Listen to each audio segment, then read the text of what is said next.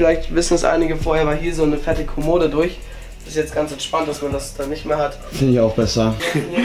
Finde ich auch besser. Das habe ich nicht so cool gefunden, habe ich mir morgens, als ich so eine Morgenlatte hatte.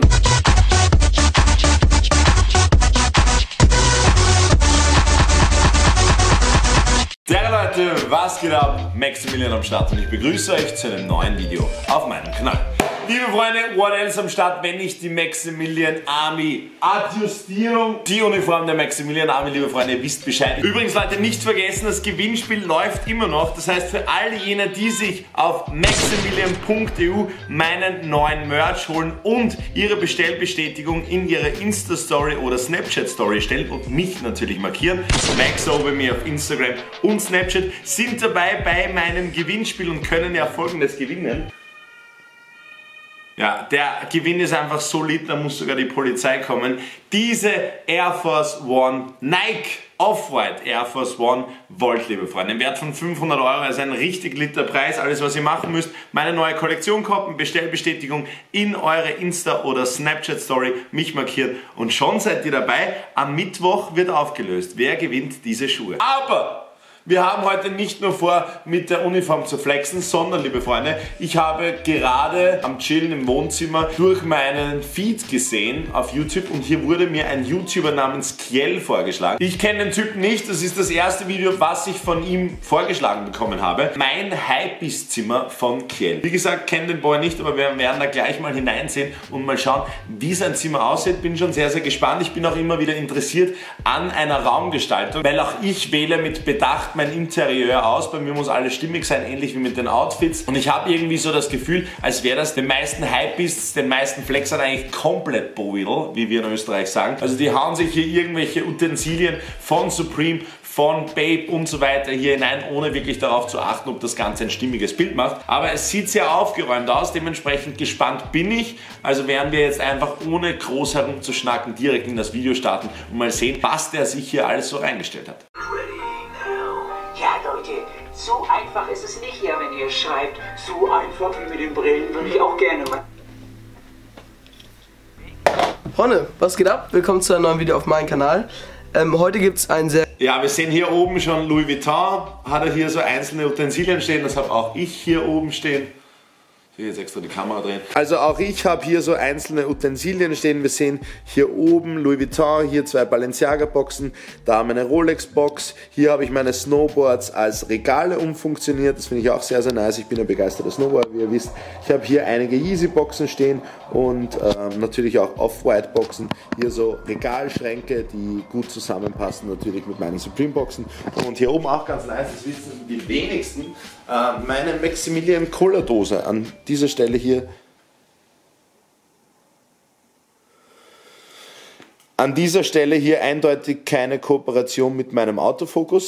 Also schaut schon mal ganz nice aus. Äh, zu dem Thema Roomtour, liebe Freunde. Ich mache eine Room, äh, Room, Room Roomtour. Ich mache eine Roomtour, wenn meine Wohnung fertiggestellt ist. Das passiert aber erst, wenn mein Schuhschrank fertig gebaut ist. Wir starten wieder direkt hinein ins Video. Sehr gefragtes Video und zwar fragen sich einige mal, okay, wie sieht es bei dir zu Hause aus?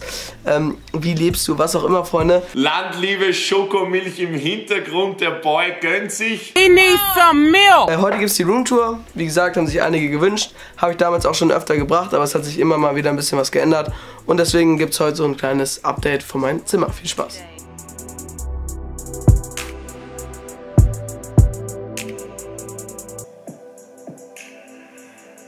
Ja, relativ aufgeräumt. Ich finde das ganz nice. Ich habe mir das selbst schon überlegt, meinen Schuhschrank aus so einzelnen Plastikteilen zu machen. Es gibt also fixfertige Boxen, die man sich kaufen kann, um das aufzustapeln und hier die Schuhe reinzugeben. Was mir aber nicht gefällt, ist genau das, was wir hier sehen. Ja, also die Schuhe kann man, wenn sie High-Top sind, nicht wirklich schön reinstellen. Man muss sie ineinander hineinlegen, damit sich das ausgeht. Finde ich nicht so nice. Was ich immer gut finde, ist die Hintergrundbeleuchtung. Ja, auch das finde ich geil, ähm, hier die Klamotten so aufzuhängen auf einem Seil nach unten und was wir hier erkennen können, das ist so ein altes Messingrohr. Also auf die Idee zu kommen, hier ein Seil zu spannen, das durch ein Messingrohr zu fädeln und aufzuhängen, finde ich persönlich richtig geil. Was mir nicht gefällt, sind die blauen Kleiderhaken dazu. Also wie passt denn das zusammen? Das ist circa so, als würde man im Anzug mit Turnschuhen herumlaufen. Kommt auf das Gleiche. Wer macht sowas? Kennt ihr das? Bei Bällen, wenn diese richtigen Bauern sich zum ersten Mal einen Anzug anziehen, den sie sich vielleicht vom Opa ausgeborgt oder schnell noch bei Kick eingekauft haben und für Anzugsschuhe sind sie sich dann zu geizig, weil die kosten beim Deichmann immerhin 1990. Also nehmen sie einfach die alten, ausgelatschten Sneaker, die sie sonst auch tragen. Schaut immer mega witzig aus. So Freunde, wie gesagt, wir kommen zur Roomtour. Ich schließe mal eben hier die Türe, damit uns hier auch keiner irgendwie entgegenkommt. Ähm, ja, ihr habt gesehen, hier ist die Tür, hier kommt man rein. Hier ist die Tür. Danke, das war ein leichter Hinweis dafür, dass wir uns wieder schleichen sollen. Das habt ihr vielleicht auch in den anderen Videos schon gesehen. Äh, hier ist die Tür und dann habe ich auch, das ist auch ein bisschen, was ich ein bisschen umgebaut habe, ähm, habe ich jetzt hier ein Regal und hier sozusagen alle meine Schuhe halt als kleinen Überblick erstmal. Ja, wie gesagt, das hier, ich fange einfach mit diesem Regal an. Da habe ich einige Kartons von den Schuhen halt drin stehen. Oben ja, aber wo sind die ganzen Schuhe, Brudi? Vereinser, Off-White von zwei 350s und unten noch schon Wotherspoon und John 1er. Ah, okay, okay. Ähm, ist ein ganz klassisches Regal von Ikea. Ich glaube, es kostet einen 50er oder sowas. Sieht halt ganz cool aus und ist wirklich sehr, sehr einfach aufzubauen, Freunde. Also kann ich euch wirklich sehr empfehlen, das Ding. Ähm, und ja, dann hier direkt zu, solltet ihr eigentlich auch schon alle kennen, das sind meine Sneakerboxen. Das sind jetzt 4, 8, 12. Schnell nochmal gerechnet. Ich glaube 12 Stück. Ähm, Mathe Ass. Hä? Mathe. Ass. Auf jeden Fall am Start. Ähm, ich könnte theoretisch jetzt auch gleich schnell mal alle Sneaker durchgehen, dann habe ich das auch alles so in einem Video. Äh, auf jeden Fall hier oben haben wir dann noch zwei Bags. Einmal die Lacoste X Supreme Warte Bag. ganz kurz, weißt du was? Das sind 15 Boxen, ne? Echt? Geil. Ja, 3, 6, 9, 12, 15. Ach, fünf immer. Ich dachte nur vier. Egal, lassen wir drin. Wie? Ja, Freunde, wie gesagt, oben, oben drauf dann nochmal zwei Bags. Einmal die Also Supreme X Lacoste, einmal die TNF X Supreme. Ähm, dann haben wir hier noch auf Ja, wie ihr wisst, ich bin kein Freund von Bags, keine Ahnung. Passt mir persönlich nicht, also nicht so mein Style. hier noch auf ganz entspannt meinen kaputten Supreme Beach Ball. Warum hast du ihn dann noch, wenn er kaputt ist? da gehen nochmal, genau, spezielle Grüße raus an Jan. Nochmal vielen, vielen Dank dafür. Hier nochmal ein paar extra Laces für den Jordan 1er, also für den äh, Pine Green. Äh, die habe ich hier auch rumliegen, aber die auch jetzt mal hier. Und ja, ich zeige euch sonst einfach jetzt mal ganz schnell so die Schuhe, die ich so am meisten feiere im Moment. Da haben wir hier einmal den Volt. Ja, brauchen wir gar nicht mehr reden. Mega geiler Schuh auf jeden Fall. Okay, ah, die Air Max. Check, check, check. Nicht so einfach. Ist mir persönlich zu bunt, aber der Style geht jetzt auch wieder in Richtung bunt. Ich bin einfach ein Fan davon, wenn die Farben aufeinander abgestimmt sind und das sind mir zu viele Farben in der Kombi. Ich laufe herum wie ein Regenbogen, aber anstatt einem Kessel voll Gold fühle ich mich wie ein Sack voll Scheiße. Auch sehr sehenswert im Moment, weil ich Outfit-technisch. den gerade frisch sauber gemacht habe. Der sieht auch wieder sehr, sehr schön aus. Applaus an dieser Stelle, Kiel. Eindeutig hat er sich verdient. Er hat hier wirklich keine Kosten und Mühen gescheut, vor allem keine Zeit gescheut und hat hier nochmal seinen Sneaker für dieses Video gecleant. Also das ist wirklich Vorbildwirkung auf höchstem Niveau. Ähm, ja, dann hier vielleicht noch zur Wand. Habt ihr vielleicht auch schon ab und zu mal im Hintergrund der Videos gesehen. Hier habe ich einen Play-Button. Es fragen mich wirklich heute immer noch so viele Leute, Jo Kiel, wo hast du den Play-Button? Was ist da los? Ähm, habe ich damals von guten Kollegen zum Geburtstag bekommen. Nein, wie geil, der hat den selbst gebastelt. ähm, und auch gleichzeitig hatte ich dazu noch ein Bild bekommen von Moritz. Grüße gehen auf jeden Fall raus.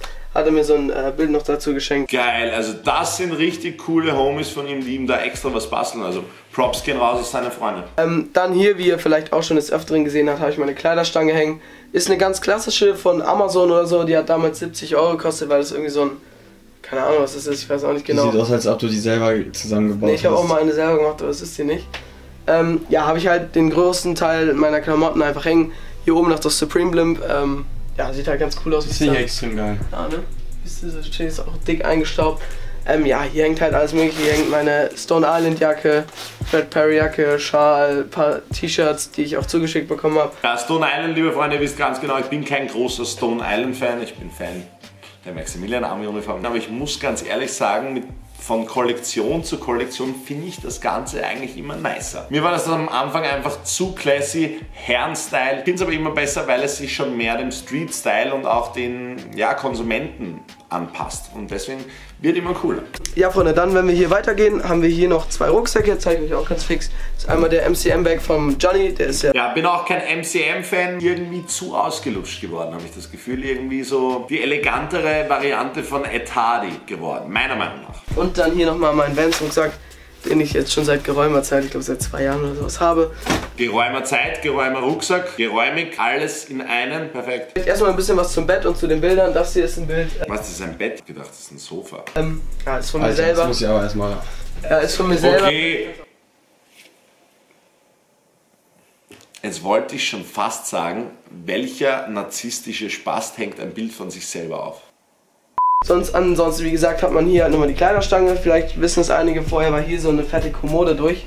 Das ist jetzt ganz entspannt, dass man das dann nicht mehr hat. Finde ich auch besser. Und ja, Finde ich auch besser.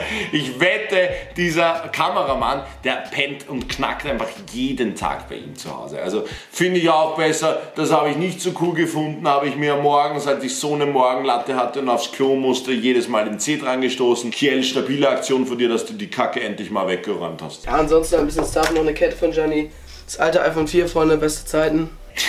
das muss man natürlich zeigen, das gehört zur Einrichtung dazu. Hier drin genau ein bisschen Kamera-Equipment noch. Ein paar extra Sachen. Hier noch irgendwie so ein Blitz oder so, weiß ich auch nicht. Und was haben wir hier? Ähm, eine alte Kamera und auch ein bisschen Krimskrams. Also Okay, jetzt sind wir an der Stelle angelangt, wo man merkt, dass das Zimmer nicht allzu groß ist, wenn man jetzt schon anfangen muss, einzelne Läden aufzumachen, um hier irgendwie die Roomtour zu vergrößern. Also willkommen bei meiner Roomtour. Ich habe hier Dixo, finde ich persönlich ziemlich geil, weil es einfach farbtechnisch hier mit meinem Zimmer harmoniert. Ich habe auch eine Schere. Die finde ich besonders cool, denn die ist nicht nur perfekt und vorzüglich zum Schneiden geeignet, sondern mit der kratze ich mir auch öfter mal den Rücken. Also auf jeden Fall ein Ding, das man sich besorgen muss. Ich habe hier noch so ein Federpenal, auch in der Farbe Rot kann man immer wieder mal gebrauchen, weil man hier unterschiedlichste Stifte unterbringen kann. Ja, Freunde, hier ist dann, wie ihr vielleicht auch schon in der Anfangsszene gesehen habt, mein Schreibtisch. Ähm, hier passiert die Magie, Kappa. Hier mache ich immer meine Hausaufgaben, äh, lese Bücher und ähm, hab Spaß. Äh, hier wird gezockt, hier wird Ja, der Miss Curry, man sieht hier, ja, Ordnung wird groß geschrieben, genauso wie gesunde Ernährung. Äh, kein Product Placement von Trolle natürlich an dieser Stelle. Hier wird Video geschnitten, hier wird was auch immer gemacht. Hier ist eigentlich immer auch eher so mein Abstellplatz. Also Hausaufgaben mache ich, wenn ich Hausaufgaben mache, eigentlich auch nur auf dem Bett. Ähm, ja, ansonsten ist hier noch meine Brille auf ganz entspannt, damit ich Rentner auch äh, vernünftig sehen kann. Ja, ansonsten nichts Spektakuläres. Wir haben hier irgendwie so eine Standard-Tastatur. Ähm, hier sind ein paar Dellen drin. Warum wohl in der Tastatur Dellen drin sind? Irgendwie erinnert mich der Kiel an jemanden. Ja, ich muss sagen, entspannte Roomtour. Ich finde ziemlich nices Zimmer für sein Alter. Keine Ahnung, wie alt er ist. Ich schätze mal so 17 oder so. War mir damals noch nicht so wichtig, wie das Zimmer ausgesehen hat. Also für das auf jeden Fall aufgeräumtes Zimmer, wenn auch sehr clean. Kann man mögen, muss man aber nicht. Manche mögen es etwas wärmer. Ähm, Video finde ich gut, ich finde ihn sympathisch. Er hat auf jeden Fall Witz. Wenn es euch gefallen hat, dann schreibt mir das unbedingt in die Kommentare. Lasst aber auch für mich unbedingt einen Like da, liebe Freunde, wenn euch das Video unterhalten hat. Ich schmeiße euch jetzt noch... Ich habe euch jetzt noch den Link zum Originalvideo unten hinein in die Infobox. Ihr wisst Bescheid. Lasst auf jeden Fall ein Like da, liebe Freunde. Lasst ein Abo da, wenn ihr noch nicht abonniert habt. Wenn ihr noch nicht, wenn ihr noch nicht Teil der Maximilian Army seid, dann seid es jetzt, ja. Koppt euch die Uniform maximilian.eu und lasst auch Kiel ein Like und ein Abo da. Ich verlinke euch jetzt noch hier und hier ein weiteres Video von mir, liebe Freunde. Vielen lieben Dank fürs Zusehen. Holt euch die dritte Kollektion, ihr wisst genau, was abgeht und wir sehen uns beim nächsten Video. Das war's von mir, euer Maximilian.